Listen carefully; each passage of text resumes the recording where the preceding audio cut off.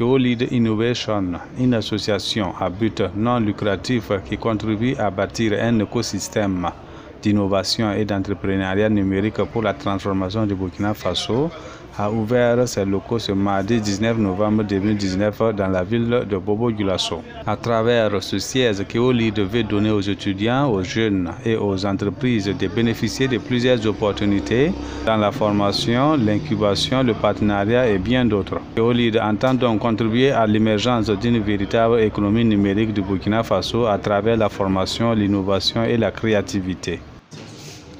La vision de Keolid Innovation Hub, c'est de bâtir un écosystème d'innovation pour transformer le Burkina Faso.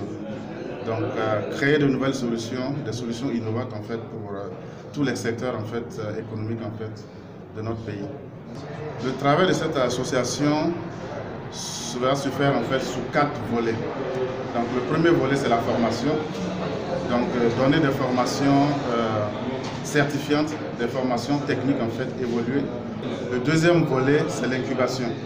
Donc les incubations, c'est accompagner les jeunes porteurs de projets ont de l'idée, aller jusqu'au projet et du projet en fait créer une start-up en fait et accompagner la start-up en fait pour qu'elle puisse se développer en fait dans le tissu économique. Le troisième volet, c'est le laboratoire. Donc nous avons pour l'instant un laboratoire virtuel donc avec des logiciels donc qui donne beaucoup de facilité en fait aux porteurs de projets en fait, pour pouvoir créer en fait leurs solutions dans le domaine du digital.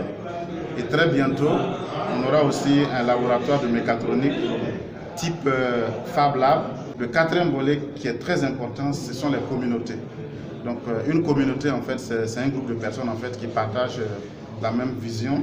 Les locaux de Keoli se situent dans un niveau au R plus 2 et 3 à 200 mètres du segment de dos sur la voie rouge en allant croiser la voie de Bobo 2010. Keolid ambitionne accompagner 70 projets en incubation, accompagnement à la création de start-up et promotion des produits et former 3700 personnes